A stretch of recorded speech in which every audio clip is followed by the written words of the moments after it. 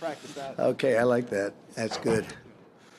We're also announcing the following emergency executive actions today.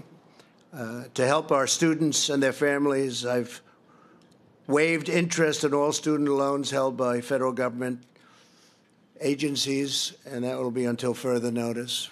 That's a big thing for a lot of students that are left in the middle right now. Many of those schools have been closed. Based on the price of oil, I've also instructed the Secretary of Energy to purchase, at a very good price, large quantities of crude oil for storage in the U.S. Strategic Reserve. We're going to fill it right up to the top, saving the American taxpayer billions and billions of dollars, helping our oil industry, and making us even further